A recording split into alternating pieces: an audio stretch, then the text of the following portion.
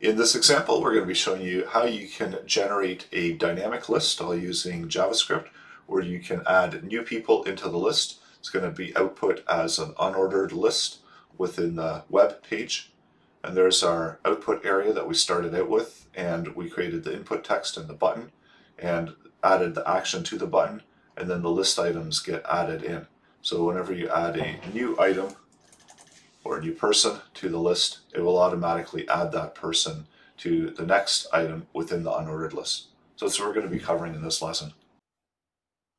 There's several ways to create page elements in JavaScript. So go ahead and create an HTML file. So we've got our index.html. We've got some page elements, including a div, we're going to add in the content into the div. And we're going to be creating all of the page elements that are added into the output area, all with JavaScript. Mm -hmm. So linking over to app9.js file, I've got the browser window opened on the right-hand side with the DevTools console just below.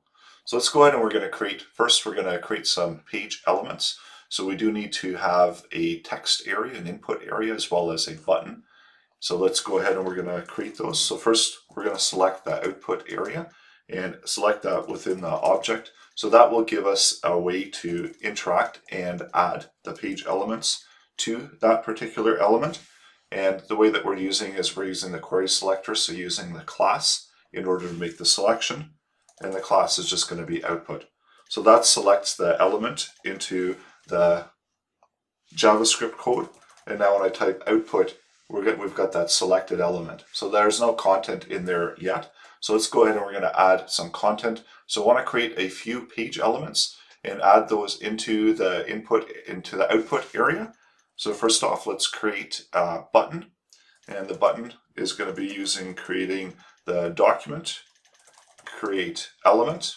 And the element that we're creating is going to be a button. So it's going to add the button or add a button element and then we need to append it to the page. So we can use the append and then selecting the element that we've just created in order to append that. So that creates the button. There's no text in the button yet. So if you wanted to add some text within the button, so I'm going to go ahead and use the text content of the element that was just created.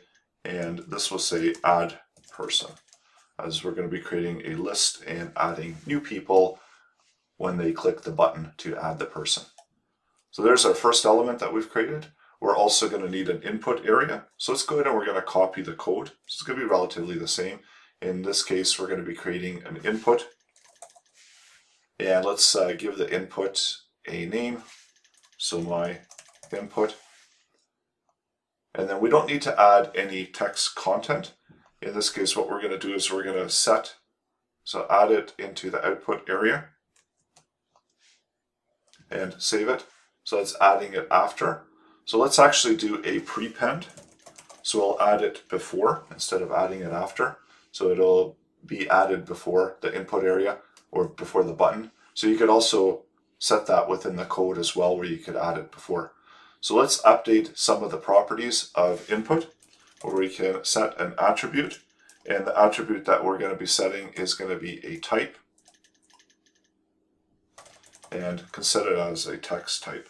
So when we save that, and now if we go over into the HTML elements, we're going to open up the body and there's our input with the type of text. So you can also set different types of attributes into the elements that you've created. So right now we're going to leave it at that where we've created the input area and we've got them selected within the global object so we can select the button and the input. So what we want to do is we want to add an action to the button. So take the button and add an event listener to the button. The event that we're listening for is going to be a click. So whenever the button gets clicked, then what we'll want to do is add a person. So we're going to run a function called add person. So then create that function. And we're going to be getting all of the parameters directly from the input area. So what that's going to do is that's going to add a person to the array. So let's also set up some variables. We're going to create an array of people. And this is just our default starting array. So we can add some people's names in there. So there's, that gives us a list of people. So what we want to do is we want to take that input and add it to the array where we've got the people. we're going to get the value that's contained within the my input and then just take the value that's contained in there and then take the array and we'll push whatever that new person value is into the array. And for now, we'll list out the array so that we can see that the content is being added into the array. And then afterwards, we can output it into the page. So we've got test. And what I'm going to do is I'm going to actually add a value into my input so I don't have to always keep typing a value into there. And we'll do another Lawrence, spell it with a W, save it. So now we can just add the person. So this is just good for testing so we don't have to constantly keep adding people into the list. So this gives us an array and then whatever values we've got there, we can add those into the list. So this is creating a list of array items. So what we also want to do is we want to create an area where we're going to output the list of people.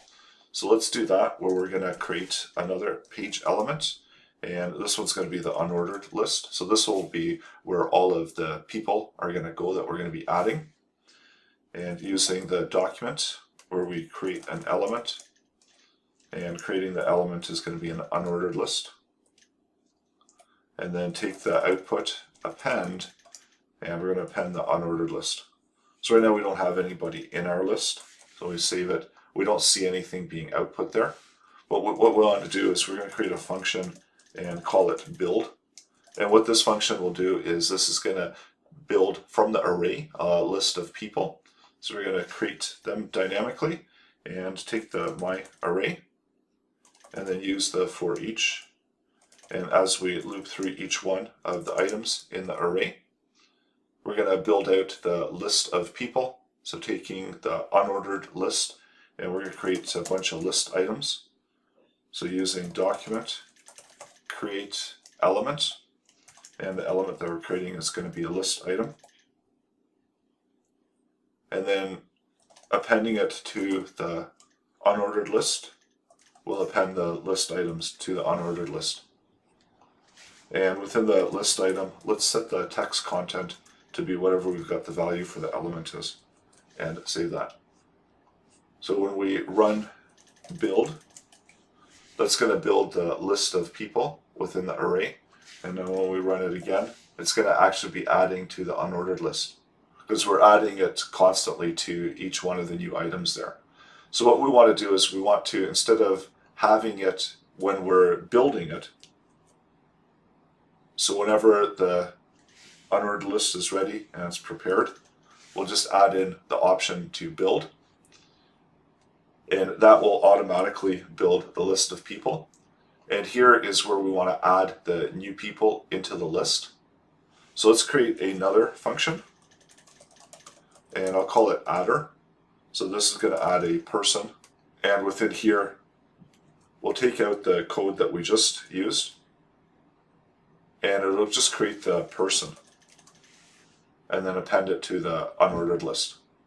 So here we can send through, instead of all of that code, we can just simply add in the person's name directly within the list. So now whenever we add, we can add the person to the list. So we're pushing the new person, add the person to the list. So that gives us a way to add new people to the end of the list and also how we can add dynamic items into our current list.